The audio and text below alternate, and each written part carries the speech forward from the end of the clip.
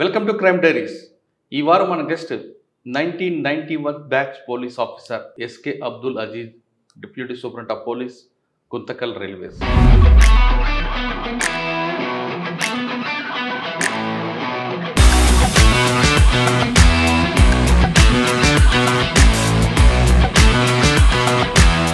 Guntakal railway station Guntakal railway station అది పెద్ద police station అవును. జిఆర్పీలో అవును. ఇక్కడ రాగానే మెయిన్ ఛాలెంజ్ ఏమొచ్చు గుర్తులో ఏం చేస్తారంటే సిగ్నల్ ట్యాంపరింగ్ చేస్తారు సిగ్నల్ ట్యాంపరింగ్ కేసులు ఎక్కువ.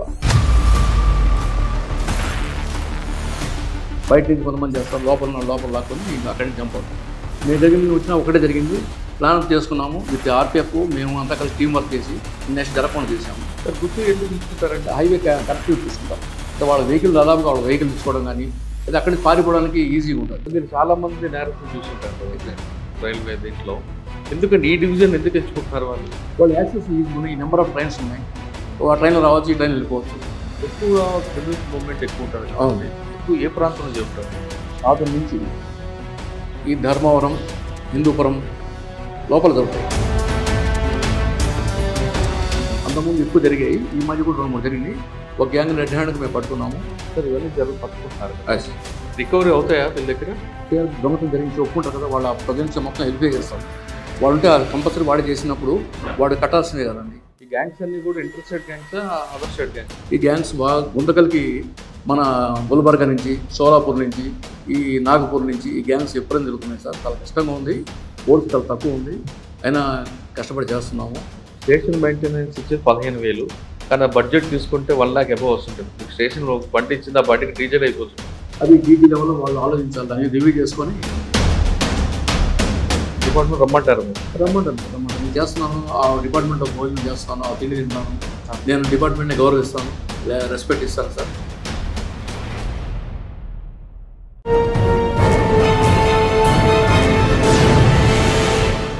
దేశంలోనే గుంతకల్ రైల్వే అనేది అతిపెద్ద జంక్షన్.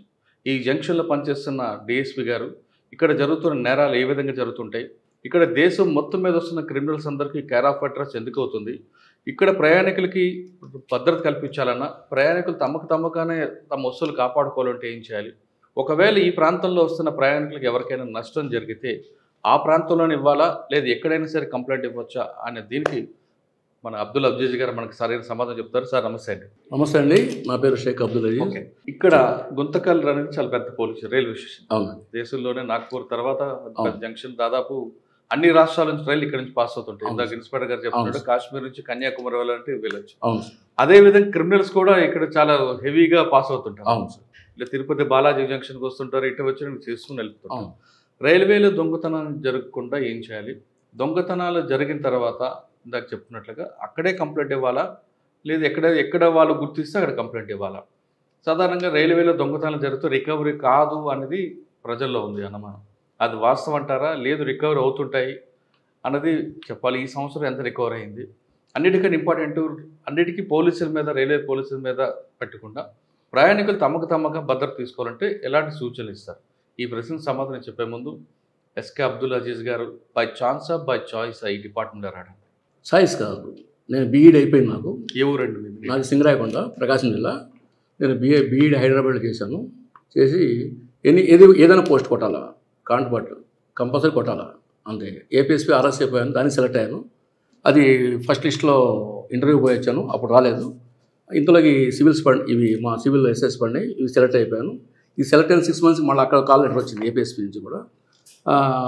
నాకు అది కూడా అపాయింట్మెంట్ ఆర్డర్ వచ్చింది. అయితే దీంట్లోనే ఇదే మంచి పోస్ట్ కాబట్టి దీంట్లో కంటిన్యూ అయ్యాను. నైన్టీన్ నైంటీ వన్ నుంచి నేను ఇక్కడ దీంట్లో department okay nineteen ninety one first post ఉంది ఇక్కడ. అంటే అప్పాలో ట్రైనింగ్ ఉంటారు అప్పుడు. అవును అప్పర్ ట్రైనింగ్ అండి. అమర్పేట ట్రైనింగ్ అప్పుడు. అప్ప లేదు నైంటీ వన్లో మేము first post Narsapeta taluka PSA training వేసాను నేను నర్సాపేట తాలూకా. ఫస్ట్ పోస్టింగ్ వచ్చి తెనాలి తాలూకా. ఎస్ఐ నేను ఫస్ట్ అప్పుడు ఆర్పి మీనా గారు ఎస్పీ గారు ఉండేవాళ్ళు. ఆయన ఈసారి సెలెక్ట్ చేసి నాకు గుడ్ పోస్టింగ్ ఇచ్చారు. మరి ఆయన ఆయన నా గురించి ఏం తెలుస్తున్నారు సార్ ఆర్పి మీనా గారు గుంటూరులో పనిచేస్తున్నప్పుడు రౌడీజం నక్సలైజ్ మూవ్మెంట్ చాలా ఎక్కువ ఉండేది. వాటిని కంట్రోల్ చేయడానికి బాగా యాక్ట్ చేశారు మీరు ఫస్ట్ ఎస్పీ ఆయన కాబట్టి మీరు ఫస్ట్ తెనాలి వెళ్ళేసరికి మీకు మెయిన్ ఛాలెంజ్ ఏముంది? ఆర్పి మీనా గారి దగ్గర మీరు ఏం నేర్చుకున్నారు? ఆర్పి మీనా గారితో మనం నేను కంపేర్ చేయడం కరెక్ట్ కాదు. ఎందుకంటే ఆయన మంచి హార్డ్ ఆఫీసరు గట్టి ఆఫీసర్ ఏం నేర్చుకున్నారు? ఆయన సిన్సియారిటీ నేర్చుకున్నాను ఆయన దగ్గర. సార్ నేను నాకు పోస్టింగ్ ఇచ్చిన కొంతకాలకి ట్రాన్స్ఫర్ అయిపోయారు. అట్లాగే నేను కూడా ఆయన నాకు పోస్టింగ్ ఇచ్చిన దానికి చాలా బాగా పనిచేశాను అక్కడ. అక్కడ తినాలి ఏంటంటే ఎక్కువగా జూదం ఇవి ఎక్కువ ఉంటాయి. అంతకుమించి ఫ్యాక్షన్ బాంబ్స్ అవేం ఉండదు సింపుల్ సి- సివిల్ తగాదాలు అట్లాంటివి ఉంటాయి. అంతకని కాంప్లికేటెడ్ ఇష్యూస్ చాలా తక్కువ ఉంటాయి. చిన్న ఇష్యూ కొంచెం పెద్దదిగా చూపిస్తారు అక్కడ పేక కోడి పందాలు అవి జరుగుతూ ఉంటాయి. అవి దాదాపుగా నేను దానికి రైడ్ చేసి ఆపేవాడిని. పబ్లిక్లో కూడా మంచి సింపతి వచ్చేది నా గురించి. అట్లా చేసింది సార్. మీరు తెనాలి వెళ్ళేసరికి అక్కడ కొడాలి అని ఒక రౌడ్ షీట్ ఉంటుంది. ఇప్పుడు ఎదురు పట్టాడు లేదు సార్ లేదు. కొడాలి అని పేరు మీద? అది తర్వాత వచ్చాడు అతను. ఫస్ట్లో సార్ మెయిన్ ఛాలెంజ్ ఏముందండి అసలు? మరి వెళ్ళగానే ఫస్ట్ పోస్టింగ్ మంచి జోష్లో ఉంటారు. అక్కడ? ఒక సోషల్ ఇది ఇవి ఉన్నాయి. పేకాటను కోడి పందాలు ఎక్కువ నడుస్తున్నాయి. నేను వెళ్ళినప్పుడు ఇప్పుడు ఎట్లా ఉందో తెలియదు. తర్వాత తెనాలి త్రీ టౌన్ సీఏ కూడా చేశాను నేను. ఇన్స్పెక్టర్ వచ్చినాక ఎక్కువగా అవి ఎక్కువ ఉంటాయి. చిన్న చిన్న తగాదాలు ఉంటాయి. ప్రిస్టేజ్కి వెళ్తారు. ఇష్యూస్ పెద్ద తీసుకుంటారు. అంతమించి అక్కడ పెద్ద పెద్ద మర్డర్స్ ఇవన్నీ ఉండవు. రౌడీజం లైట్గా నడుస్తూ ఉంటుంది. అది వాళ్ళు కూడా అక్కడ అప్పుడప్పుడు వాళ్ళ అంత మన పల్నాడు సైడ్ చేశాను నేను ఎక్కువ కూడా చేశాను. అక్కడలాగా అంత ఇది ఉండదు. తెనాలి తర్వాత అండి? తెలంగాణ తర్వాత నేను మాచవరం అని అది నక్సల్స్ ఏరియా. అప్పుడు నక్సల్స్ తిరుగుతునేవాళ్ళు అట్లా అప్పుడు చేసాము అక్కడ ఆ, అక్కడ అప్పుడు కూడా ఎలక్షన్స్ అవి నడిచినాయి సార్ అప్పుడు నేను వెళ్ళిన తర్వాత. ఎలక్షన్స్ వాటి మీద నడిచిపోయింది వన్ ఇయర్ చేశాను అక్కడ. అక్కడి నుంచి నేను చుండూరు వచ్చాను. చుండూరు. అంటే చుండూరు అప్పటికి ఇష్యూ అయిపోయిందా? అయిపోయినాక వెళ్ళాను సార్ అది. ఎలా ఉందండి అప్పటికి? అంటే ఆ- మూమెంట్ ఆ భావజాలం అక్కడ అంతా కనిపిస్తుందా? నేను వెళ్ళేటప్పుడు సార్ పబ్లిక్ వాళ్ళు పల్లె వాళ్ళు వేరే ఉండేది వీళ్ళంతా వేరే ఉండేది. నేనేంటంటే కొంచెం సమయం నుంచి కాలేదు సార్ అందరిలో కూడా వాళ్ళ అవేర్నెస్ కలిపి వాళ్ళిద్దరిని కూడా కొంచెం దగ్గర చేశాను. మోర్ ఓవర్ పల్లెలోకి పోలీసు అప్పుడు ఎంటర్ అయ్యి రానిచ్చేవాడు కాదు. నన్ను చూసినాక నేను మాట్లాడే విధానం వాళ్ళు నచ్చింది. నేను మటుకు పల్లెలో వెళ్ళేవాడిని వాళ్ళని పట్టుకొచ్చి లోపలేసేవాడిని. అప్పుడు చుండూరులో కోర్టు ఒకటి పెట్టారు ప్రత్యేక కోర్టు. దాంట్లో కూడా పల్లె వాళ్ళే కొంతమంది ఒక ఇద్దరు ముగ్గురు ఫ్యాన్లో ఈ దొంగతనం చేశారు. అప్పుడు వాళ్ళని కూడా అరెస్ట్ చేశాను. నాకు ఎటు వాళ్ళు పబ్లిక్ కూడా కోఆపరేట్ చేసేవాళ్ళు. ఏంటంటే మనం ఫెయిర్గా ఉంటాం కాబట్టి వాళ్ళు కూడా ఇట్లా ఉంటారు. చుండూరు తర్వాత? చేపురోలు చేపురోడ్ కాంప్లికేటెడ్ పోలీస్ స్టేషన్. సంవత్సరానికి ఐదు లక్షలు మారేవాళ్ళు. నేను త్రీ అండ్ హాఫ్ ఇయర్ చేశాను అక్కడ. ఎందుకు అంత అంటే అని కాదు అక్కడ పొలిటికల్ ఇష్యూస్ ఎక్కువ ఉంటాయి కదండి. అవును ఇద్దరు ఎమ్మెల్యేస్ సగం ఒక ఎమ్మెల్యే వచ్చేవాళ్ళు. సగం ఏమో వచ్చి వేమూరు కింద వచ్చేది. ఇంకోటేమో అది పత్తిపాడు కింద వచ్చేది. అట్లా. అంటే అక్కడ పొలిటికల్ ఫెరజర్ మీకు రాలేదా? ఉండేది. పత్తిపాడు అప్పుడు మాగిన పెద్దరతే ఉండేవాళ్ళు. చేపులకి వేమూరులో ఆలపాటి రాజేంద్ర ఉండేవాడు. అంటే మరి ఆ ఇద్దరి మధ్యన ఎలా మీరు శాండ్విచ్ కాకుండా పనిచేశారు? అట్లా ఏం సార్. అంటే నా వర్క్ చేసుకుంటేవాడిని. పబ్లిక్ అప్రిసియేషన్ ఎయిటీ పర్సెంట్ ఉండేది. వర్క్ కొంచెం సిన్సియర్ చేస్తుండేవాళ్ళు ఎస్పీలు కూడా కోఆపరేట్ చేసేవాడు అప్పుడు ఎస్పీ? పూర్ణేంద్ర గారు ఉన్నారు. మాలకొండ గారు ఉన్నారు. తర్వాత? తర్వాత అక్కడి నుంచి నేను పత్తిపాడు వెళ్ళాను పత్తిపాడు ఎస్ఐ అక్కడ ఏమైనా గుర్తుందా కేసులు? అక్కడ ఎలక్షన్స్ అక్కడ పంచాయతీ ఎలక్షన్స్ అయ్యి చేశారు? కాంప్లికేట్ ఇష్యూస్ కొన్ని అయ్యి కాకుండా కంప్లీట్. నేను ఏంటంటే కొంచెం ఇన్ఫర్మేషన్ ముందే పెట్టుకుంటాను. బిఫోర్గా యాక్ట్ చేసి కొంచెం అది ఇష్యూని పెద్దది కాకుండా చేస్తాను. అప్పుడు జనరల్గా ఇష్యూ పెద్దదైనాక సబ్సిడీ చేస్తే పేరు వస్తుంది ఆఫీసర్కి. నేను అట్లా కాదు కొంచెం ఇన్ఫర్మేషన్ సిస్టమ్ పెట్టుకుంటాను. ఆ ఇష్యూ పెద్దదే కనపడదు ఇంకా. అంటే మన వరకు కూడా తెలియదు అది ప్రతిపడి తర్వాత అండి ఇప్పుడు దాచేపల్లి నక్సలైట్ ఏరియా. మంచి నక్సల్ టైంలో వెళ్ళాను చేశాను. నా ఇన్ఫార్మెంట్ కూడా చంపేశారు. అక్కడ దాచేపల్లి సిమెంట్ ఫ్యాక్టరీలో టెలిఫోన్ ఎక్స్చేంజ్ దగ్ధం చేశారు. ఇన్సిడెంట్ బాగా మంచి పీక్ టైంలో వెళ్ళాను. చేశాను దాచిపోయిన తర్వాత అండి దాచేపల్లి పెదకూరపాడు. తర్వాత? పట్టాపురం గుంటూరు టౌన్ అక్కడ పట్టాపురం మీకు సీఏ ప్రమోషన్ వచ్చిందా? లేదు లేదు. అప్పుడు ఎస్ఐ అక్కడ వన్ ఇయర్ చేసాము ఇయర్ గవర్నమెంట్ మారింది మళ్ళీ గవర్నమెంట్ మారినాక ప్రమోషన్ ట్రాన్స్ఫర్స్ ఉంటాయి. ఇన్స్పెక్టర్గా ఎప్పుడు వచ్చిందండి ప్రమోషన్ ఇన్స్పెక్టర్ టూ థౌజండ్ నైన్లో వచ్చింది సార్. ఎక్కడ ఫస్ట్ ఫస్ట్ పోస్టింగ్ వచ్చేసి వినుకొండ. వినుకొండ వేయగానే మళ్ళీ పొలిటికల్గా వెనుకొండ నుండి ఇక్కడ వరకు తెనాలి వరకు తీసుకుంటే. మీరు అన్ని ప్రాంతాల్లో ఎస్ఐకి పనిచేస్తారు కదా. ఈ ప్రాంతంలో మీకు బాగా గుర్తుండిపోయిన కేసు ఒకటి చెప్పండి. వినుకొండలో స్టార్ట్ టైం చేశాను నర్సాపేట చేశాను సిఐగా త్రీ ఇయర్స్ చేశాను అక్కడ. ఈ మధ్య ఎస్ఐగా మీకు మంచి ఇన్వెస్టిగేషన్ కేసు అని గుర్తుందా? ఆ ఇన్వెస్టిగేషన్ నర్సాపేటలో ఒక బ్యూటిఫుల్ కేసు అండి మర్డర్ కేసు. ఒక పాప చదువుకుంటుంది ప్రకాశం జిల్లా వాళ్ళది. ఇక్కడ వచ్చి హాస్టల్లో ఉండి చదువుకుంటూ ఉంటుంది. అమ్మాయి ఒకతను ప్రేమిస్తుంది. ప్రేమించినాక అంటే మీకు సస్పెన్షన్గా చెప్తే బాగుంటుంది చెప్పండి. జరిగిన జరిగిన సీన్ యాక్చువల్గా రిపోర్ట్ వచ్చిన దాని ప్రకారం చేస్తే మీకు అర్థం ఉంటుంది బాగుంటుంది. ఒక డెడ్ బాడీ మన కోటప్పకొండ బ్యాక్ సైడ్ హిల్ లోపల హిల్ కింద వైపు ఒక పాప twenty two years twenty three years dead body unidentified dead body ఉంటుంది. సరే ఆ డెడ్ బాడీ అమ్మాయి బోళ్ళ పడి ఉంటుంది. తల మీద రాయిసిన కొట్టి ఉంటుంది. అది రిపోర్ట్ వచ్చింది. రిపోర్ట్ తీసుకుని సస్పీడ్ డెత్ కట్టాము. మా తర్వాత త్రీ నాట్ టూ కింద ఆల్టర్ చేసాము ఆల్టర్ చేస్తే తర్వాత మా అమ్మాయి పలా ప్రకాశం జిల్లా అమ్మాయి ఇక్కడ చదువుకుంటుంది హాస్టల్ రూమ్స్. ఆ రూమ్మేట్స్ని వాళ్ళందరినీ విచారిస్తే ఫస్ట్లో చెప్పలేదు వాళ్ళు. తర్వాత ఇతని అమ్మాయికి ఒక లవర్ ఉన్నాడండి. ఆ, మా- ఆ లవర్ని ఎట్లా అనుమానిస్తారంటే అతను మాకు ఫోన్ చేసి అమ్మాయి ఎక్కడ పోయింది? చూడలేదా? కోటకొండ సైడ్ పోయారా? అని అడిగాడు. అని చెప్తారు ఇంకా వాడిని తీసుకొస్తాం. వాడిని తీసుకొచ్చి వాడిని విచారిస్తే వాడు ఒంటి నిండా అంతరాల గింతలు కట్టుకొని ఉంటాడు. కట్టుకొని ఉండి అమ్మాయికి వీడికి ఫోన్ ఫోన్ ఈ మధ్యలో కాల్ డీటెయిల్స్ అని అమ్మాయి ఫోన్ నెంబర్ ఏం తీసేసుకున్నాం? అన్ని వెరిఫై చేస్తాను నేను పర్సనల్గా అవన్నీ నేను ఎందుకంటే ఇన్ఫర్మేషన్ బయటకు పోకుండా చేయాలని చెప్పి చేశాను నేను. పర్సనల్ ఇంట్రెస్ట్ చేసేసాను సరే వాళ్ళు ఏమంటారంటే ఇతని మీద సస్పెండ్ ఇతన్ని అమ్మాయి తల్లిదండ్రులు మాట్లాడాను. తల్లిదండ్రులు అయితే డెడ్ బాడీ దగ్గర కూడా రాలా ఫస్ట్లో. నేను వాళ్ళ అన్నకి ఫోన్ చేసి మాట్లాడాను. బాబు ఎందుకు రాలేదంటే మాకు ఇష్టం లేదండి అమ్మాయి చేసిన పని అన్నాడు. బాబు నువ్వు చచ్చిపోతే మీ అమ్మాయి నిద్రకు వస్తారా వస్తుందండి అన్నాడు. మరి నీ చెల్లెలు నీవు చచ్చిపోతే నేను వచ్చినప్పుడు నువ్వు అన్నావు కింద అని అట్లా మోటివేట్ చేసినాక వాళ్ళు మొత్తం ఫ్యామిలీ మొత్తం వచ్చారు. ఆ స్టేట్మెంట్స్ మొత్తం చెప్పారు. వాళ్ళ తల్లి కూడా అమ్మాయి తల్లి కూడా ఇతను ఫోన్ చేశాడు ఈ అమ్మాయి పీరియడ్ అని అతను. ఫోన్ చేసి ఏమండి అమ్మాయిని మీకు ఏం చేస్తున్నారంటే అన్నం తింటున్నామంటే మీకు అన్నం ఎడ తిన్న బుద్ధి ఏంది చచ్చిపోతే పోయి ఇతగండి కోట దగ్గర ఇతగండి అని అన్నాడు. అని చెప్పాడు. ఇక దాదాపుగా కన్ఫర్మేషన్ ఈడి మీద వచ్చేసింది. ఈయన పట్టుకొచ్చాం. చాలా ఇంపార్టెంట్ కేసు అండి ఇది. సర్వీసులు నేను గుర్తుపట్టలేదు రిటైర్డ్ అయినా కూడా. సరే వాడిని వచ్చి ఇంటరాగేట్ చేసి సార్ నేను చంపలేదు. నేను చంపలేదు సార్ నాకు తెలియదు. అమ్మాయిని ప్రేమించిన వాడు అవసరం అమ్మాయిని ప్రేమించిన వాడు అవసరం. సరే కాల్ డీటెయిల్స్ సీడీఆర్లో అని చెప్పాను అయితే సీడీ కాల్ డీటెయిల్స్ అన్ని వెరిఫై చేసినాక ఈ అమ్మాయి కొత్తగా వేరే వాడితో మాడుతుంది ఆ రోజు కరెక్ట్గా చనిపోయే రోజు ఈ అమ్మాయి కాల్ వచ్చింది. చిలకపేట నుంచి కాల్ వచ్చింది. చిలకపేట నుంచి కాల్ వస్తే ఈ ఈ అమ్మాయికి కూడా అతను కాల్ చేసిన అతను అక్కడి నుంచి బండి వేసుకొని అంటే టవర్ లొకేషన్ తీసుకొని నేరుగా నర్సాపేటకు వస్తుంది నర్సాపేట నుంచి మళ్ళీ ఈ రూట్లో కోటప్పకొండ రూట్లో పోతాడు. ఈ అమ్మాయి ఫోన్ కూడా అదే ట్రావెల్ చేస్తారు నర్సాపేట నుంచి. కరెక్ట్గా అక్కడ వెళ్తారు అప్పుడు మేము ఈడు కాదు చేసింది. కానీ ఇప్పుడు ఇంతవరకు ఇన్ఫర్మేషన్ మొత్తం ఈ ఇతనే అని వస్తుంది సరే ఇతను కాదని చెప్పేసి కన్ఫర్మ్ చేసుకుని అతను పక్కన పెట్టేసి ఇంక ఫర్దర్ దాంట్లో ఇన్వెస్టిగేషన్ పోయాం. ఇన్వెస్టిగేషన్ పోతే ఎస్పీ గారు కూడా డౌట్ పడ్డారు. ఇతను డైవర్ట్ చేస్తున్నాడు కావాలని అని. మళ్ళీ ఆ, ఇంకొకళ్ళు ఇంకో మధ్యలో ఈ మధ్యలో ఇంకొక ముద్దాయి నేను చంపి పోలీస్ ఇంట్రాగేషన్ చంపానని అన్నాడు. అది పోయి ఇంట్రాగేషన్ అది కాదని చెప్పి తర్వాత ఈ మోటార్ సైకిల్ అతన్ని చిలుకపేట అతను చెప్పేసి మేము సిమ్ ద్వారా సిమ్ ద్వారా ఫస్ట్ వాడే తెలివిగా వేరే ఫోన్తో మాట్లాడు వేరే వాడితో వాడిని పడుచు ఇంటరాగేట్ చేస్తే వాడు నాదేనండి కానీ నేను మాట్లాడలేదు అని అంటాడు. కానీ మళ్ళా వాడిని స్ట్రెస్ చేసినాక ఫలానాడు మాట్లాడాడు ఆ రోజు ఇస్తే అంటాడు. ఇంకా అతన్ని పట్టుకొని అతను పట్టుకోగానే అతను పొలిటికల్గా కొంచెం ఇన్ఫ్లుయెన్స్ పర్సన్ అయినా కానీ పొలిటికల్ కానీ ఏం ఇంప్రూవ్ చేయకుండా మన టెక్నికల్గా మనం ఆధారపడడం ఒక నిర్దోషిని అరెస్ట్ చేయకుండా కరెక్ట్ దోషిని యాక్చువల్గా అతను ఫస్ట్లో వాళ్ళ తల్లిదండ్రులు చెప్పింది కానీ రూమ్మేట్ చెప్పింది కానీ ఇతన్ని ముద్దాయిగా ఫిక్స్ అప్ అయిపోతాడు. నేను తొందరపడి కానీ చేస్తుంటే ఒకటి జీవితం నాశనం అయిపోయేది. కానీ ఈ కాల్ డీటెయిల్స్ని బాగా వెరిఫై నేను నేను పర్సనల్ కూర్చున్నాను కంప్యూటర్ ముందు కూర్చొని మొత్తం వెరిఫై చేసి ఆ లొకేషన్లో మొత్తం చూసుకుంటా పోయి టెక్నికల్ హెల్ప్ తీసుకొని చేస్తే వన్ మంత్ తర్వాత కరెక్ట్ ముద్దాయిని మేము పట్టుకోగలం. సిమ్ కార్డ్స్ ఆధారంగా నెంబర్ని ఐఎంబి నెంబర్ మారి మళ్ళీ ఆ నెంబర్ మారి. అంతా వర్కౌట్ చాలా వర్కౌట్ చేయడం వల్ల ఒక అమాయకుడిని అరెస్ట్ చేయకుండా అంటే నాకు ఆ అరెస్ట్ చేస్తే నాకు బర్డన్ ఉండదు. అయిపోయి అయిపోయి వాడి ముద్ద అన్ని అందరూ కూడా కన్ఫర్మ్ చేసుకుంటారు. ఎందుకంటే మర్డర్ చేశాడు వీడు ఏం చేశాడంటే ఈ అమ్మాయిది వాడు కాంటాక్ట్ పెట్టుకున్నాడు. సంథింగ్ అమ్మాయి ఏం చేస్తుంటే మ్యారేజ్కి చేసింది. వాళ్ళేమో రెడ్డీస్ క్యాస్ట్ బాయ్. ఈయన విశ్వబ్రాహ్మణం. ఈడు ఏంటంటే వాడుకొని చేద్దాం అనుకున్నాడు. ఈ అమ్మాయి ఏంటంటే కాదు నన్ను పెళ్ళి చేసుకోవాలా అని చెప్పేసి దాని మీద స్ట్రెస్ చేసింది దాని మీద ఏం చేశాడంటే అక్కడ తీసుకెళ్ళి నా అమ్మాయి నమ్మకంగా పడుకొని ఉంది. ఈ పెన్ను చేతిలో పెన్ను కూడా అట్లా ఉండిపోయింది. వెనకనే రాయిస్ని కొట్టాడు. ఒకటే దెబ్బ చచ్చిపోయింది. తర్వాత వాడు బండి వేసుకొని వెళ్ళిపోయాడు.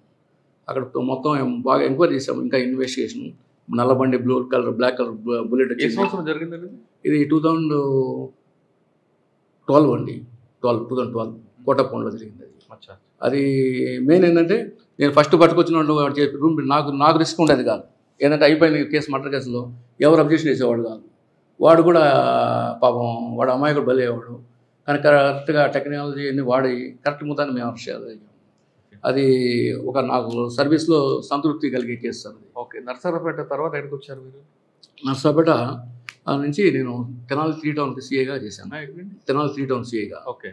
అక్కడ ఎలక్షన్ టైము ఎలక్షన్ అయినాక మళ్ళీ ట్రాన్స్ఫర్ వచ్చింది అంటే తెనాలి మీరు ఎస్ఐగా ఫస్ట్ పోస్టింగ్ ఎస్ఐ ఫస్ట్ వెళ్ళారు. సీఏగా వెళ్ళాను. అక్కడికి ఇంకా ప్యాకెట్ క్లబ్లు ఉన్నాయా అప్పటికి? అప్పటికి ఒక రన్ ఉండేది. ట్రై చేశాం కానీ దొరకలేదండి. పక్కనే ఒకటి క్లబ్ రవీంద్రబాబు రవీంద్రనాథ్ గారికి ఒకటి ఉండేది. అక్కడ ట్రై చేసాం రెండు మూడు సార్లు ట్రై చేసాం కానీ దొరకలేదు. అంటే అప్పట్లో ఉన్న ఎస్ఐగా ఉన్నప్పుడు మొత్తం దానికి ఎక్కువ అడిక్టెడ్గా ఉండేవాడు పబ్లిక్ అంతా. అంత లేదు తగ్గింది కొంచెం. అంటే ఇప్పుడు కొంచెం కొంచెం మారుతుంటారు కదండి. సార్ సాధారణంగా ప్యాకెట్ క్లబ్బుల నుంచి బార్ల నుంచి పోలీసులు మామూలు వస్తాయి వాళ్ళకి ఇన్ఫర్మేషన్ వెళ్తుంది అనేది అని ఒక ఆరోపణ. అంటే? ఎవరన్నా చేస్తుంటారు కానీ సార్ నేను ఆ ప్యాకెట్ వాళ్ళు కూడా నేను ఎంటర్టైన్ చేయలేదు. మీరు తెలిసిన వాళ్ళు మీ మల్లికార్జున వాళ్ళు తెలిసి ఉంటారు కదా వాళ్ళని కనుక్కొని చెప్తారు సార్. మల్లికార్జున మీరు కలిసి ఎలా పని చేశారు? ఆయన నా దగ్గర ట్రైనింగ్ పిఎస్ఐ ఒక ప్రాబ్లం ఎదుర్కొంటే నేను కరెక్ట్గా సార్ ఆఫీసర్లు చెప్పి నేను కరెక్ట్గా అతను కరెక్ట్ చేశాడు అతను. అతను తప్పులే అని చెప్పేసి నేను సేవ్ చేశాను. తర్వాత తెనవాల తర్వాత ఎక్కడికి వచ్చారు? తెనాలి నుంచి సిఐడికి వెళ్ళాను సిక్స్ మంత్స్ అక్కడి నుంచి ప్రమోషన్ తీసుకుని డిఎస్పీగా గ్రేహౌండ్స్కి వెళ్ళాను sir. Vizag greyhound two years చేశాను. అక్కడ అక్కడ మీటి మీది వర్క్ అండ్ కోంబింగ్ Work అంటే కోన్ అంటే ఏజ్ ఎక్కువ అని చెప్పేసి నాకు ఆఫీస్ ఏవో ఇచ్చారు అడ్మినిస్ట్రేషన్ ఇచ్చారు. అట్లా అడ్మినిస్ట్రేషన్ తర్వాత అండి? తర్వాత అక్కడి నుంచి ఈ గుంటూరు రూరల్ మహిళ చేశాను వన్ ఇయర్ చేశాను అంటే అప్పుడు మహిళ ఉంది. అక్కడి నుంచి మళ్ళీ మచిలీపట్నం మహిళకు ట్రాన్స్ఫర్ చేశారు ఎలక్షన్స్ బిఫోర్ అంటే అంతకుముందు ఎలక్షన్ అక్కడ చేశాను కాబట్టి తెనాల్లో అక్కడ ఉండకూడదంటే అక్కడికి వెళ్ళాను సార్. అక్కడ త్రీ అండ్ హాఫ్ ఇయర్ చేశాను. దాని తర్వాత ఇక్కడ వచ్చాను. ఆ మూడున్నర సంవత్సరాలు మీకు బాగా గుర్తుండిపోయిన కేసు ఉంది అక్కడ? మహిళా పోలీస్ స్టేషన్లో అది లేడీస్ ఫ్యామిలీ డిస్ప్యూట్స్ అది ఫ్యామిలీ డిస్ప్యూట్ కేసు కట్టేవాడిని కాదు. కౌన్సిలింగ్ చేసి కౌన్సిలింగ్ టీం పెట్టాను నేను. పెట్టి నలుగురు లేడీస్ని కరెక్ట్ పర్సన్స్ ఒక అడ్వకేట్ ఓ సోషల్ సర్వీస్ చేసేవాళ్ళని పెట్టి చాలా ఫ్యామిలీస్ నిలబెట్టాననే సాటిస్ఫాక్షన్ ఉంది. కేసు అంటే అది ఎంతో ఫ్యామిలీస్ మీకు తెలియదే ఉంటుంది. ఒక్కోసారి చిన్న విషయం కాడ ఫోర్ నైంటీ పెట్టుకుంటారు. అది పెద్ద. ఒక సైజు కట్టాం కానీ అది అంతా చెప్పుకోదగ్గ కేసు తర్వాత అండి? సార్ అక్కడి నుంచి ఇక్కడికి వచ్చాను. సాధారణ రైల్వే పోలీస్ అనగానే ఏదో పనిష్మెంట్ అనుకుంటారు. మీరు ఎలా ఫీల్ అవుతున్నారు ఇక్కడ? పనిష్మెంట్ ఏం కాదు సార్ పనిష్మెంట్ కాదు చాలా ఇది కూడా ఇక్కడ క్రైమ్ జరుగుతుంది. ఇవన్నీ కూడా పబ్లిక్స్కి అవి మెయిన్ ఇంపార్టెంట్ అదే బ్యాగులు పాపం నగలు పెట్టుకొస్తారు ఎక్కుతారు.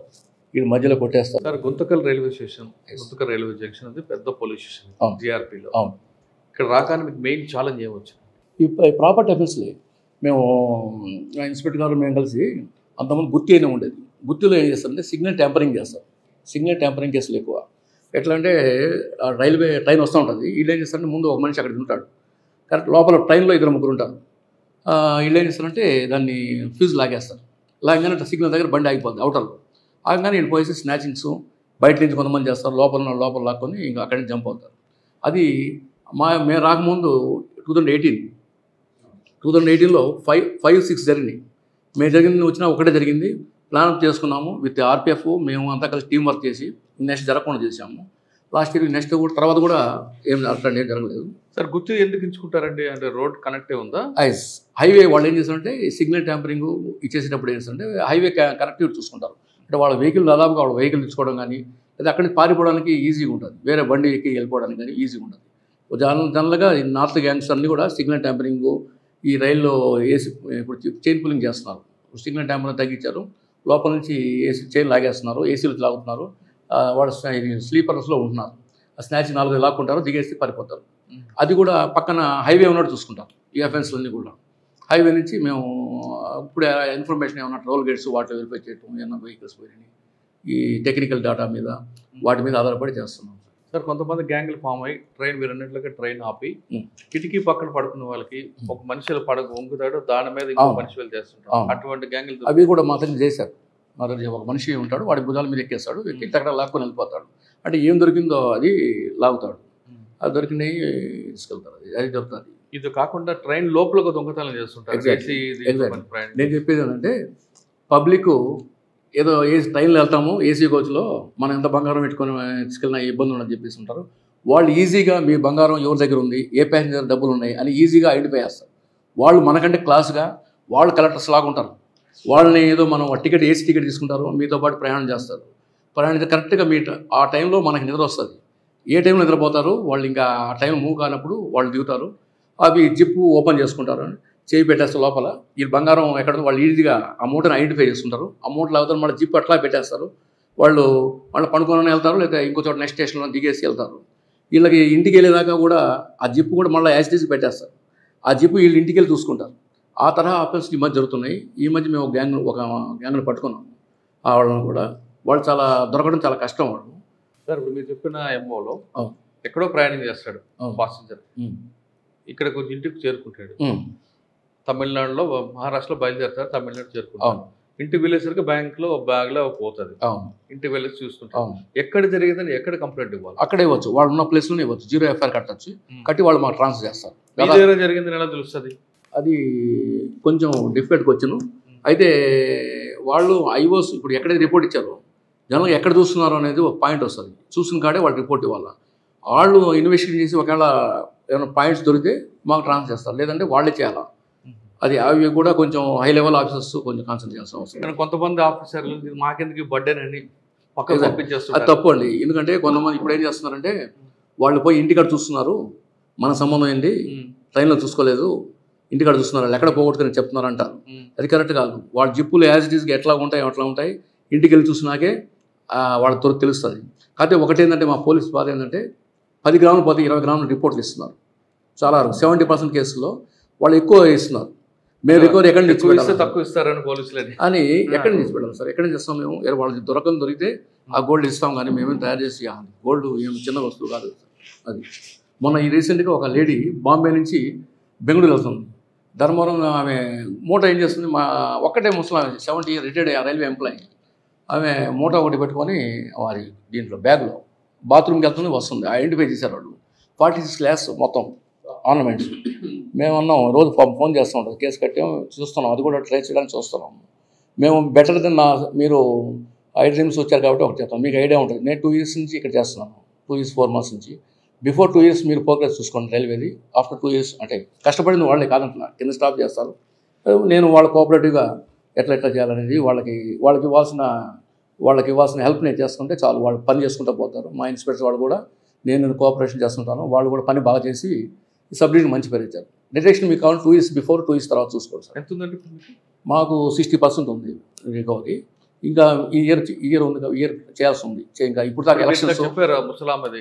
రికవర్ అయిందా? కాలేదు చేస్తున్నాం. వాళ్ళు ఒకరిని ఐడెంటిఫై చేసాము వాడిని ఈ మధ్యలో లిఫ్ట్ చేస్తాము. సరే ఇది కాకుండా అట్రాక్షన్ డైవర్షన్ గ్యాంగ్లు కూడా తిరుగుతుంటాయి. మీరు ఐడెంటిఫై చేసి అటెన్షన్ డైవర్షన్ ఒకటి కర్నూలు జరిగిందండి. నేను వచ్చినాక టూ త్రీ కేసు జరిగినాయి వాడిని అక్కడే పట్టుకున్నారు. ఒకరిని పట్టుకున్నారు. మిగతా విధంగా తెప్పించాము. తెప్పించేసాము. అది ఒకటి జరిగింది. ఎక్కువ క్రిమినల్స్ మూవ్మెంట్ ఎక్కువ ఉంటుంది కాబట్టి ఎక్కువ ఏ ప్రాంతం నుంచి ఉంటారండి? మాకు ఆదోని ఆదోని నుంచి ఈ ధర్మవరం హిందూపురం లోపల దొరుకుతాయి. ఈ రూట్లో. ఇక్కడ కర్నూలు సైడు ఇక్కడ దొరుకుతాయి. ఎక్కడ? కర్నూలు వెళ్ళే- వెళ్ళేటప్పుడు కర్నూలుకి యువతలు దొరుకుతాయి. దోను కర్నూలు ఈ ప్రాంతంలో దొరుకుతాయి. పెండెకల్లు ఈ ప్రాంతం దొరుకుతాయి. నంద్యాల నుంచి కొంచెం తక్కువ. నంద్యాల లోపల దొరుకుతాయి. నంద్యాల అవతల పెద్దగా ఉండవు రిపోర్ట్స్. అంటే చిన్న చిన్న దొరుకుతాయి మెయిన్ అఫెన్స్ జరుగుతాయి పగిడిరాయి అని పగిడిరాయి. ఇక్కడ ఉంది పగిడిరాయి అంతకుముందు ఎక్కువ జరిగాయి ఈ మధ్య కూడా రెండు మూడు జరిగినాయి. ఒక గ్యాంగ్ రెడ్ హ్యాండ్కి మేము పట్టుకున్నాము. టెక్నికల్ హెల్ప్తో ఇవి చేశారు అదే రోజు పట్టుకున్నాము. అఫ్ కోర్స్ మేము చూపించడం అరెస్ట్ తర్వాత. సార్ ఇవన్నీ జరుగు పట్టుకుంటున్నారు కదా. రికవరీ అవుతాయా వీళ్ళ దగ్గర? అవుతాయి అవుతాయి. చేయాలి దొంగతనం జరిగించి ఒప్పుకుంటారు కదా వాళ్ళ ప్రజెంట్స్ మొత్తం వెరిఫై చేస్తాము. వాడు ఉంటే అది కంపల్సరీ వాడు చేసినప్పుడు వాడు కట్టాల్సిందే కదండి. వాడు నేరం చేశాడు వాడు అను అమ్మాడు అమ్మేడు చూపిస్తాడు. అది మేము రికవర్ చేసి చూపిస్తాం అది రికవర్ వస్తుంది అంటే ఈ గ్యాంగ్స్ అన్ని కూడా interstate gangs other state gangs ఈ గ్యాంగ్స్ బాగా గుంతకల్కి మన గుల్బర్గా నుంచి సోలాపూర్ నుంచి ఈ నాగపూర్ నుంచి ఈ గ్యాంగ్స్ ఎప్పుడైనా తిరుగుతున్నాయి సార్? చాలా కష్టంగా ఉంది. ఫోర్స్ చాలా తక్కువ ఉంది. అయినా కష్టపడి చేస్తున్నాము. ఈ last two month three months నుంచి మాకు ఆర్పీఎఫ్ వాళ్ళు ఎలక్షన్ డ్యూటీకి వెళ్ళిపోయారు. మా వాళ్ళు కొంతమంది వెళ్ళిపోయారు. అందువల్ల అఫెన్స్ కూడా చాలా జరిగింది ఈ సంవత్సరం. ప్రతి సంవత్సరం సంవత్సరం లాండెడ్ పోలీస్ వాళ్ళు మాకు కొంతమంది స్టాఫ్ ఇస్తారు. అది కూడా లేకుండా మేము ఇన్స్పెక్టర్స్ కూడా తిరుగుతున్నాం. మేము కూడా తిరుగుతున్నాం. నైట్ రౌండ్స్ అటు తిరిగితేనే కొంతవరకు కంట్రోల్ చేయగలిగాం. లేదా ఇంకా చాలా జరుగుతాయి. ఓకే. గుంతకల్ రైల్వే డివిజన్లో ఏ టైంలో ఎక్కువగా అఫెన్స్ అవుతుంటాయి? జనరల్గా ఎక్కడైనా కానీ సార్ రైల్వే అఫెన్స్ మొత్తం కూడా ఆఫ్టర్ వన్ త్రీ మధ్యలో త్రీ అండ్ హాఫ్ ఫోర్ మధ్యలో దొరుకుతాయి ఎక్కడైనా అంతే. అంటే డైలీ ఉంటాయండి ఇక్కడ అఫెన్స్ లేదు లేదు. సెల్ ఫోన్ తీసుకెళ్తారు కొంతమంది. ఇక్కడ మన స్టేట్ వాళ్ళు ఏమంటే ఒక బండి స్లో అయిందంటే బండి ఒకసారి డైవర్షన్ పెడతారు ఇక్కడ జరిగిన మొన్న అఫెన్స్ మొత్తం కూడా వెనక క్రాసింగ్ కోసం పెడతారు. అక్కడ వాడు అడ్వాంటేజ్ తీసుకొని లాగి దిగి వెళ్ళిపోతాడు పెనుగొండ దగ్గర జరిగినాయి అట్లా స్నాచెస్ వాళ్ళని కూడా ఐడెంటిఫై చేసాము కొంచెం ప్రాసెస్ కానీ మెయిన్ ట్రైన్స్లో అన్నిటి కూడా జిఆర్పి సెక్యూరిటీ ఉంటుంది కదండి. ఆర్పిఎఫ్ ఉంటుంది జిఆర్పి ఉంటుంది. ఆర్పిఎఫ్ ఉంటుంది. ఆర్పిఎఫ్ సార్ పెట్టెలు ఎన్ని ఉంటాయి? ఫిఫ్టీన్ సిక్స్టీన్ ఉంటాయి. వాడు చూసుకుంటాడు. పోలీస్ మూమెంట్ చూసుకొని దాదాపుగా పోలీసులు ఎస్కాట్ ఉన్న బళ్ళు ఇచ్చారు ఈ మధ్య దాదాపు one and half year years నుంచి తెలివిగా ఏ బళ్ళకి మేము ఎస్కాట్ ఇవ్వమో ఆ బళ్ళకి వీక్లీ ట్రైన్స్ వస్తాయి. వాటికి జనరల్గా మేము ఎస్కాట్ వాటికి అఫెన్స్ చేస్తున్నారు వాళ్ళు. సార్ గుంతకల్ డివిజన్లో పర్టికులర్గా ఈ బెల్ట్ చెప్పారు మీరు ఇందాక. ఆ బెల్ట్ వరకు మీరు ఎస్కాట్ ఇస్తుంటారా? ఇస్తున్నాం సార్. ఇప్పుడు కానిస్టేబుల్ లేపన ఒక కానిస్టేబుల్కి ఇచ్చి వెపన్ ఇచ్చి నేనే లేను ఇన్స్పెక్టర్ లేడు ఇది నైట్ రౌండ్ సార్ పోయి నేను తుగ్గలి ఎక్కడ పోయి నిలబడ్డాను వెపన్ తీసుకుని మా మా సీసీని తీసుకొని మెన్ లేరు బందోబస్తు ఎలక్షన్ మేము కష్టపడి చేసాం చేయబట్టి ఇలాంటి అసలు ఇన్ఫ్లుయెన్స్ మీ పెట్రోలింగ్లో ఉన్న టైంలో ఎప్పుడైనా అఫెండర్ ఎదురుపడ్డాడు? ఎట్లా సార్. కనబడ్డాడు మీకు? అది మొన్న పట్టుకున్నాం సార్ గుత్తిలో రెడ్ హ్యాండ్ పట్టుకున్నాం. వాడు ప్రాపర్టీ ఆ రోజు చేసింది మార్నింగ్ చేసింది. ఇన్స్పెక్టర్ గారు వెళ్ళారు. సో నేను వెళ్తా అంటే బండి ఉంది సార్ బైక్ మీద రమ్మంటే నేను బైక్ వేసుకెళ్ళాను. మా ఇన్స్పెక్టర్ కూడా అటు కర్నూలు వాళ్ళంతా వచ్చారు. వాళ్ళని అక్కడ గుత్తి గడపగానే వాళ్ళు అక్కడి నుంచి మళ్ళీ బస్సులో మూవ్ అయ్యారు. బస్సులో మాకు మళ్ళీ సిగ్నల్స్ ఇట్లా బస్సు వెహికల్ వెళ్తున్నారు సార్ వెహికల్ అన్నారు. అంటే ఏ వెహికల్ మాకు తెలియదు. వెహికల్ మీద పోయి గుంతకల్ ఇన్స్పెక్టర్ పట్టుకుని అంటే మీరు చాలా మంది నేరస్తులు చూస్తుంటారు కదా. ఎగ్జాక్ట్ రైల్వే దీంట్లో. ఎందుకంటే ఈ డివిజన్ ఎందుకు ఎంచుకుంటున్నారు వాళ్ళు? వాళ్ళు యాక్సెస్ ఈజీగా ఉన్నాయి. ఈ నెంబర్ ఆఫ్ ట్రైన్స్ ఉన్నాయి. ఆ ట్రైన్లో రావచ్చు ఈ ట్రైన్ వెళ్ళిపోవచ్చు. ఒక ఒక నగ అండి ఒకటి అమ్ముకుంటే అరవై వేలు డెబ్బై వేలు వస్తాయి. అది ఒక వారం వాడు ఏం చేస్తాడు అంటే నేరస్తులు మీరు ఇందాక ఆర్గనైజ్ క్రైమ్ చెప్పారు. లోపల. ఇద్దరు ఉంటారు బయట ఇద్దరు ఉంటారు జరుగుతుంది. అలా కాకుండా సింగిల్ అఫెండర్స్ సింగిల్ అఫెండర్ కొంచెం అఫీషియల్గా ఉండి కూడా చేస్తుంటారు. చేస్తారు. అటువంటి ఎవరు మీకు ఎదురుపడ్డారు ఆ, పట్టుకున్నాము కూడా చాలా మంది పట్టుకున్నాము ఇప్పుడు లాస్ట్ ఇయర్ ఇజ్రాయల్ అని మొహమ్మద్ ఇజ్రాయల్ నాకు కూడా అది బై ఫింగర్ ప్రింట్ ద్వారా వచ్చింది. మా ఫింగర్ ప్రింట్ చూస్తే స్టేట్ దాంట్లో చూస్తే లేరు. ఎక్కడ నేరాలు లేవు వచ్చినాయి మా ఎస్పీ గారు చౌడేశ్వర్ గారు. ఆమె ఏంటంటే నేషనల్ దాంట్లో చూపించి ఆమె ఇంట్రెస్ట్ ఇస్తున్నాను. ఆ ఫింగర్ ప్రింట్ని పొలా అతన్ని గ్యాంగ్స్టర్ అతను. అక్కడ నాగ్పూర్. మా ఇన్స్పెక్టర్ వాళ్ళ పోయి అతన్ని క్యాచ్ చేసి తీసుకొచ్చాము అరెస్ట్ చేసాము అది సార్ మీరు నాగ్పూర్ పంపించారు. ట్రైన్ టికెట్స్ అంటే గవర్నమెంట్ ఇస్తుంది. కానీ అక్కడ లోకల్గా వెళ్ళిన తర్వాత అక్కడ అకామిడేషన్ ట్రాన్స్పోర్ట్ అంతా కూడా ఎక్స్పెండిచర్ ఉంటుంది. ఇది ఎవరు బేర్ చేస్తారు? అది ఎట్లాగా సార్ ఇప్పుడు ఎప్పుడు కేసులు టీఏలు ఇస్తారు? మనకి శాలరీ వస్తుంది సఫిషియెంట్ శాలరీ వస్తుంది. శాలరీ వచ్చిందంటే మనం ఎఫ్ఐఆర్ పెట్ట పట్టుకోవడానికి కాదు కదా. కాదు ఇప్పుడు చేయాలి మరి? తప్పదు. అట్లా చేస్తూ ఉంటాము అట్లాగే ఏమైనా మిస్లేనియస్ ఏమైనా అడిగితే ఎస్పీ గారు ఏమైనా చేస్తారు అట్లా డ్యూటీస్ పోయినప్పుడు సార్ రైల్వేలో ప్రయాణం. దాంట్లో నేరాలు జరిగితే మీరు కష్టపడుతున్న పట్టుకుంటున్నారు. కానీ ప్రయాణికుడి బాధ్యత కూడా దాంట్లో ఉంది. ఎగ్జాక్ట్లీ ఆ ప్రయాణికుడు ఇప్పుడు ఒక దగ్గర నుంచి గమ్యస్థానం చేరుకునేలోగా నేరాలు జరగకుండా ఉండాలంటే రైల్వే ప్రయాణికులకి ఒక యాజ్ ఏ పోలీస్ ఆఫీసర్గా మీరు ఏం చెప్తారు? అదే నేను ఆంధ్రప్రదేశ్ కానీ ఏదైనా రైల్వే ప్రయాణికులు చెప్పేది ఏంటంటే మీరు నగలు రైల్వే వెళ్ళిపో హ్యాపీగా వెళ్ళిపోవచ్చు మనకేం భయం లేదు రైల్వే పోలీసులు ఉంటారని అనుకో బస్ అనుకోకూడదు. రైల్వే పోలీస్ కాదు రైల్వే పోలీస్ ఆఫీసర్ నగలు పోయినాయి జడ్జి ఒక ఆయన వెళ్తుంటే ఆయన నగలు పోయినాయి. వాడు దొంగలు గారు ఏమన్నా కరెక్ట్గా ఐడెంటిఫై చేస్తారు. కరెక్ట్ స్పాట్లో మీ నగలు ఈజీగా ఎత్తుకుపోతారు. కాబట్టి ఎక్కువ నగలతో మీరు ర్యాన్లో ఏసీ బోగిలో అయినా కానీ చక్కగా మీరు ఏసీ బోగిలు ఎక్కగానే వాళ్ళు ఐడెంటిఫై చేస్తారు. వాళ్ళ గ్రూప్స్ మొత్తం ఉంటుంది. ఇన్ఫర్మేషన్ సిస్టమ్ వాళ్ళకు ఉంటుంది. ఫలానా బ్యాచ్ దాంట్లో ఎక్కారండి. వాడు ఫలానా సీట్లో కూర్చున్నారంటే వాడు రిజర్వేషన్ చేసుకొని తత్కాలం రిజర్వేషన్ చేసుకొని మీ పక్కన ఉంచుకొని ఉంటాడు. మీకంటే వాడు హయ్యర్ అఫీషియల్ లాగా ఉంటాడు. నైట్ టైం కరెక్ట్గా వాడు చేసుకొని మీ పక్కన పడుకొని ఉండొచ్చు లేకపోతే ఇంకో స్టేషన్ దిగి వెళ్ళిపోవచ్చు. కాబట్టి నేను చెప్పేది ఏంటంటే మీరు అంత జా అంత డబ్బు అంత బంగారం ఉన్నప్పుడు జాగ్రత్తగా ఉండాలా? జాగ్రత్తగా ఆ రైల్లో అంత డబ్బు బంగారం తీసుకెళ్ళొద్దు. పగలైతే పర్వాలేదు. నైట్ టైం అయితే నేను సజెస్ట్ చేయను. మీకు మీ డబ్బుకి ఎవరు గ్యారెంటీ ఇవ్వలేదు. కాబట్టి మీరు కష్టపడిన డబ్బుని జాగ్రత్తగా మీరు బాధ్యత తీసుకోవాలి తప్పితే రైల్వేలో ఆ ఫండ్ దొరకడం చాలా కష్టం. ఇంట్లో పెడితే దొంగతనాలు అవుతాయి. మరి జర్నీ చేస్తున్నప్పుడు క్యారీ చేయాలనుకుంటారు కొంతమంది. మరి అప్పుడు? జాగ్రత్త తీసుకోవాలి సార్. వాళ్ళు మేల్కొని ఉంటాము కానీ తప్పదు. మరి అంత బంగారం ఉన్నప్పుడు ఒకరోజు మేము రోజు మేము నిద్ర లేకుండా తిరుగుతుంటాము. ఆ. పోలీస్ అయితే రైల్వే పోలీస్ కానీ రోజు బీట్లు పడుతుంటాయి. Four days one time one day test ఇస్తాం మనకి మరి ఆ నలభై లక్షలు యాభై లక్షలు క్యాష్ గోల్డ్ తీసుకెళ్ళినప్పుడు ఒకరోజు మేల్కొని ఉండండి లేకపోతే మీరు అది తీసుకెళ్ళి రావద్దు. నా ఉద్దేశం అది. సార్ దొంగతనాల విషయం కాస్త పక్కన పెడితే. ఇక్కడ మెయిన్ జంక్షన్ కాబట్టి ఎక్కడి నుంచి ఎస్కేప్ అయిన పిల్లలు వీళ్ళందరూ వస్తుంటారు. ఇక్కడ గంజాయిలు కానీ లేదంటే వైట్ లైన్స్ తీసుకుంటూ కనిపిస్తుంటారు. అటువంటి వాళ్ళు మీరు ఇప్పుడు ఐడెంటిఫై చేశారా? సార్ వైట్నర్ అయితే ఇక్కడ లేదు. గంజా అయితే అరకు నుంచి పట్టుకున్నాం. చాలా చాలా కేసులు పెట్టాము ఈ మధ్య. మీరు ప్రెస్ నోట్స్ మా వాళ్ళు ఇస్తారు. ఆల్రెడీ చాలా పట్టుకున్నాము. ఈ ఎలక్షన్స్ వల్ల కూడా గోల్డ్ పట్టుకుని క్యాష్ పట్టుకున్నాం. అంతా కూడా అవే మేము ప్రేమ్ మా టీం అంతా కూడా కరెక్ట్గా చేస్తూ ఉంటాం మళ్ళీ ఇప్పుడు ఎలక్షన్స్ అయిపోయినాయి కాబట్టి మళ్ళీ దాంట్లో దిగుతాం. అంటే పారిపోయిన పిల్లలు ఇక్కడికి వస్తే వాళ్ళని ఎలా మీరు పునరావాసం ఆ, చేస్తారా లేదా. వాళ్ళ సొంతూరు పంపించేస్తారా? లేదు సార్ వాళ్ళని పట్టుకుని దాదాపు మొన్న అనంతపురం చేసి ఇక్కడ ఒకసారి లేడీ ప్రేమ ప్రేమికులు వచ్చి పట్టుకున్నాము వాళ్ళందరూ పట్టుకొని వాళ్ళ పేరెంట్స్కి ఇన్ఫామ్ చేసి వాళ్ళకి హ్యాండ్ ఓవర్ చేస్తున్నాం సార్. అంతవరకు చేయగలం అది ఇంకా వేరేగా వాళ్ళని కూర్చోబెట్టడానికి అంత రైల్వే పోలీస్కి అంత ఉండవు. సార్ దాదాపు తొంభై ట్రైన్లు రోజు వచ్చి వెళ్తుంటాయి. మీకు హెవీ క్రౌడ్ కనిపిస్తుంది. ప్రతి స్టేషన్ ప్రతి ప్లాట్ఫామ్కి మీ వాళ్ళు విజిబుల్ పోలీసింగ్ కనిపించాలి. ట్రైన్ వచ్చింది. అంత ఫోర్స్ ఉందంటారు మీకు? ఫోర్స్ తక్కువ ఉంది సార్. ఫోర్స్ తక్కువ ఉంది. సమ్మర్లో ఫోర్స్ రావాల్సింది ఎలక్షన్స్ వల్ల ఇవ్వలేదు. వస్తే మేము కంట్రోల్ చేసుకోవాలి. మేము ఎంత కష్టపడి కొన్ని ఏదో కొన్ని అయినది అయిన చాలా జరిగినాయి. ఎందుకు జరిగినాయంటే ఈ ఫోర్స్ ఆర్పిఎఫ్ ఫిఫ్టీ పేపర్స్ వెళ్ళిపోయారు. ఎలక్షన్ ముందే టూ మంత్స్ బిఫోర్ వెళ్ళిపోయారు. మా ఫోర్స్ మొన్న వెళ్ళిపోయారు. తర్వాత కొన్ని అఫెన్స్ జరిగినాయి. పెద్ద పెద్ద అఫెన్స్ జరిగినాయి. అయితే తర్వాత కంట్రోల్ చేసుకున్నాం. జరిగినా కంట్రోల్ చేసుకున్నాం. నెక్స్ట్ జరగకుండా చేసుకున్నాము. ఫోర్స్ కావాల్సి వస్తుంది సార్ అచ్చా. తర్వాత సార్ ఆర్పిఎఫ్లో మీలాంటి ఆఫీసర్లు లేదా ఇన్స్పెక్టర్ ఆఫీసర్లు కొంచెం యంగ్గా ఉంటారు. ఇక్కడ కింద స్థాయి వచ్చేసరికి పనిష్మెంట్ మీద వచ్చే వాళ్ళు ఎక్కువ కనిపిస్తుంటారు. వాళ్ళు పని చేస్తుంటారా సరిగ్గా? ఒకటి సార్ నాకు ఫిఫ్టీ ఎయిట్ సిక్స్టీ ఇయర్స్ నాకు. వాళ్ళు ఇంకా చిన్న వయసు ఉంటుంది. నేను మోటివేట్ చేశాను. ఇక్కడ వచ్చిన ఫస్ట్ ఆర్పిఎఫ్ వాళ్ళని పిలుచుకున్నాను వాళ్ళని మాట్లాడుకున్నాను మనం వాళ్ళతో మోటివేట్ చేసుకున్నాం. ఉమెన్ ఉమెన్ పీసులు ఎక్కువ మంది అనంతపురంలో ధర్మవరంలో సిక్స్టీన్ పీసెస్ ఉన్నారు. వాళ్ళ వల్ల నాకు ఎనిమిది బీట్స్ తగ్గిపోయింది అంటే ఉమెన్ పీసులు ఎలా బీట్లకి వెళ్ళని చెప్పేసి? ఉమెన్ పీసులు కదా బీట్లు వేయట్లేదు వేయకూడదు అనేది ఒకటి ఉంది డీజీ గారు చెప్పారని ఇవన్నీ ఉంది నేను వాళ్ళని వెళ్ళి మోటివేట్ చేశాను సార్. మీరు ఆర్పిఎఫ్ వాళ్ళతో మాట చెప్తారు.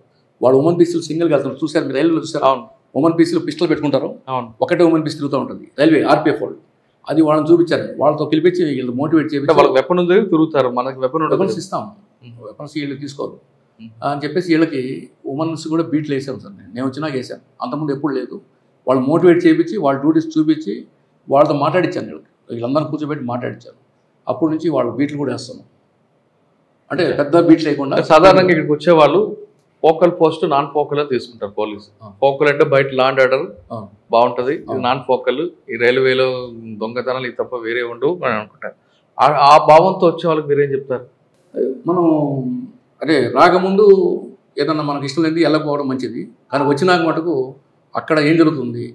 దాన్ని మనం ఎట్లా కంట్రోల్ చేయాలా? మన మన లిమిట్స్లో ఏం జరగకుండా చూసుకోవడం కరెక్ట్ అది. ఉద్యోగం కరెక్ట్ చేయాలి సార్ అది. నా నా పాలసీ కూడా అదే. ఇక్కడ స్టడీ చేశాను చిన్నగా వీళ్ళు హెల్ప్ చేస్తున్నాను అట్లా అట్లా చేశాను. మా ఇన్స్పిరేషన్ మీరు అడగండి చెప్తారు. వాళ్ళతో కో వాళ్ళతో కోఆపరేట్ వాళ్ళ వర్క్కి వాళ్ళు ఎంత కోఆపరేట్ ఎంత చేస్తాను మ్యాక్సిమం నా నుంచి వాళ్ళ వాళ్ళ కోఆపరేషన్ వాళ్ళకి చేస్తాను ఓకే. గుంతకల్ రైల్వే పోలీస్కి ఈ మధ్యన ఒక అవార్డు వచ్చింది ఆ, స్కాచ్ అవార్డు వచ్చింది సార్. అది నేషనల్ లెవెల్లో రాయల్ మన పోలీస్కి ఇక్కడ వచ్చింది. Guntakal railway madam SP Chowdeshwara గారు. ఆమె హార్డ్ వర్క్ చేశారు. అంటే కొత్త కొత్త టెక్నిక్స్ టెక్నాలజీని అందుబాటులో తెచ్చారు. మమ్మల్ని కూడా మోటివేట్ చేశారు.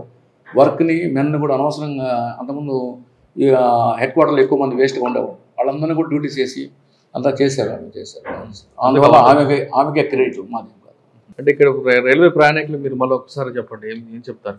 రైల్వే ప్రయాణికులందరూ నమస్కారం పెట్టి చెప్తున్నానమ్మా మీరు డబ్బులు నన్ను చూసి చెప్పండి. ఫోన్లు పెట్టుకొని ప్రయాణం చేయొద్దు. డబ్బులు నగలు తీసుకొస్తే మీరు ప్రయాణం అయ్యేంత వరకు జాగ్రత్త ఉంచుకోవాల్సిన బాధ్యత మీరే. పోలీసులు పట్టుకొస్తారు చేస్తారనేది చాలా తక్కువ ఉంటుంది రైల్వే. ఎందుకంటే మాకుండే ఫోర్స్ చాలా తక్కువ మంది ఉంటారు. తొంభై ట్రైన్లు వెళ్తాయి. తొంభై ట్రైన్లు వెళ్ళాలంటే తొంభై మంది కానిస్టేబుల్స్ లేక తొంభై రెండు నూట ఎనభై మంది కానిస్టేబుల్ కావాలి. కానీ స్టేషన్లో పదిహేను మంది కానిస్టేబుల్ ఉంటారు గుంతకల్లో కాబట్టి దయచేసి మీరు అర్థం చేసుకోండి. మీ మీ ధనానికి మీ బంగారం వాటన్నిటికి కూడా మీరే బాధ్యత తీసుకోవాలి. రాత్రిపూట మీరు ఎక్కువగా ట్రైన్లలో ఎక్కువ తీసుకురాబోకండి. ఎందుకంటే నేరస్తులు నా నార్త్ సైడ్ నుంచి ముఖ్యంగా గుంతకల్ సైడ్ గుంతకల్ నుంచి బెంగళూరు వరకు చాలామంది నార్త్ సైడ్ నుంచి ఇది షోలాపూర్ నుంచి గుల్బర్గా నుంచి పెద్ద పెద్ద నేరస్తులు gangs party gang party gang పట్టున్నాం మేము. వాళ్ళందరూ తిరుగుతుంటారు. వాళ్ళు చాలా తెలివైన నేరస్తులు. కాబట్టి మీరు ట్రైన్లో ప్రయాణించేటప్పుడు మీ తక్కువ వీళ్ళంత తక్కువ నగలు కానీ తెచ్చుకోండి. ఎక్కువ తీసుకురాకండి. వాటిని మీరు జాగ్రత్తగా తీసుకోవాలని బాధ్యత మీదే. పోలీస్ చేస్తారు అనేది అది సెకండరీ విషయం తర్వాత విషయం. కాబట్టి దయచేసి రైల్లో కదా ఏసీలో కదా తలుపులు వేసి ఉంటాయి ఎవరు రారు అనుకోవద్దు. వాళ్ళకి అక్కడ కూడా జరగడానికి చాలా జరిగినాయి ఈ మధ్య చాలా జరిగినాయి. వాళ్ళు మీ లాగా ప్రయాణికుల్లా తిరుగుతున్నారు. ప్రయాణికుల్లా ఉదయం మీరు నిద్రపోగానే ఏదో మీ మీద మత్తు మంచడం కానీ ఏదో చేసి తీసుకెళ్ళడం జరుగుతుంది కాబట్టి జాగ్రత్తగా ఉండాల్సి ప్రార్థిస్తున్నాను ఓకే ఫైనల్గా చెప్పండి సార్. ఈ డిపార్ట్మెంట్లో రావాలనుకున్న ఆస్పిరెంట్స్ మీద ఇచ్చే మెసేజ్ చాలా రమ్మంటారా వద్దంటారా? రమ్మని చెప్తాను. రమ్మని చెప్తాను కంపల్సరీ. రావాలా? యాక్టివ్గా చేయాలా? ఉంటుంది. ఇప్పుడు ఏఆర్ అనుకోండి పొలిటికల్ ప్రెషర్ ఉండదు. రిజర్వ్ పోలీస్కి పొలిటికల్ ప్రెషర్ ఉండదు. పొలిటికల్తో సంబంధం ఉండదు. లా అండ్ ఆర్డర్ పోలీస్కి కంపల్సరీ పొలిటికల్ ప్రెషర్ ఉంటుంది. వాటి నుంచి మనకు ప్రెషర్ వస్తుంది. ఆ తట్టుకునేట్టు రావాలా? వాళ్ళని కూడా మనం ప్రెస్ని పొలిటికల్ని పబ్లిక్ని కింది స్థాయి స్టాఫ్ని నలుగురిని కూడా మనం మేనేజ్ చేసుకుంటా వెళ్తేనే సక్సెస్ఫుల్గా ఉంటాం. కరెక్టే. మీరు చెప్పింది ఒక గతంలో నైన్టీ వన్లో వచ్చినప్పుడు eighty nine batch ninety one. Batch అలా బాగానే ఉండేది. కానీ క్రమేపీ అది పొలిటికల్ హ్యాండ్స్ కింద వెళ్ళిపోతుంది. అప్పర్ హ్యాండ్ వాళ్ళది అవుతుంది. అది ఒకటే కాకుండా స్టేషన్ బడ్జెట్ కూడా పెరుగుతుంది. పోలీస్ స్టేషన్ వచ్చే బడ్జెట్. ఇటువంటి సర్కమ్టెన్స్లో రావాలంటారా? లేదు ఖచ్చితంగా పబ్లిక్ సేవ చేయాలంటే ఇదే బెస్ట్ ప్లాట్ఫామ్ అంటారు?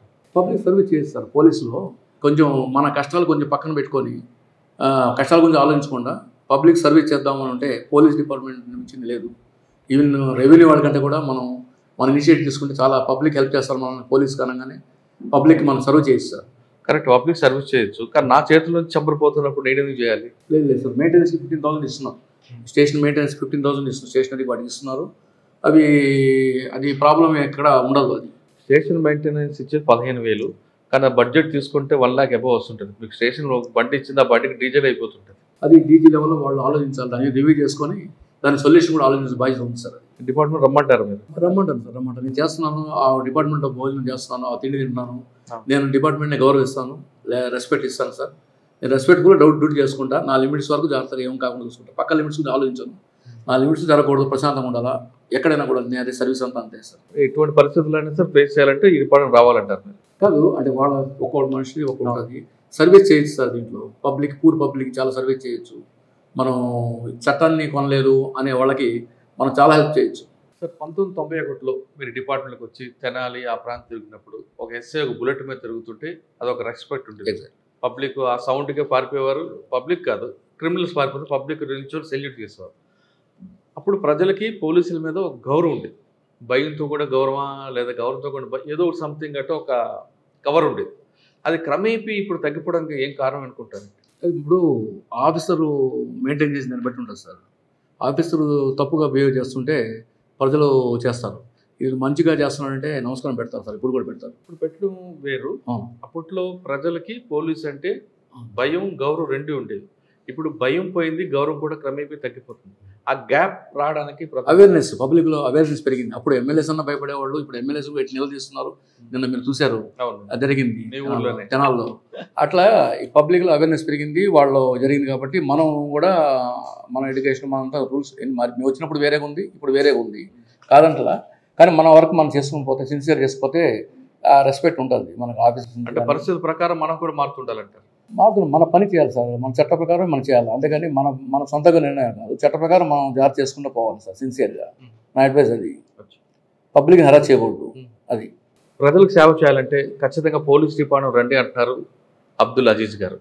ఇందులోకి వచ్చిన తర్వాత కష్టాలు నష్టాలు ఉంటాయి కానీ అల్టిమేట్గా తీసుకుని చివరికి వచ్చేసరికి ఏదో ఒక రోజు పబ్లిక్ సర్వీస్ చేసాం అన్న ఒక మంచి తృప్తి ఉంటుందంటూ చెప్తున్నారు. ఆయన తొంభై ఒకటిలో వచ్చినప్పుడు ఈ డిపార్ట్మెంట్లో ప్రజలకి పోలీసులకి మధ్యన ఒక అనుబంధం ఉండేది.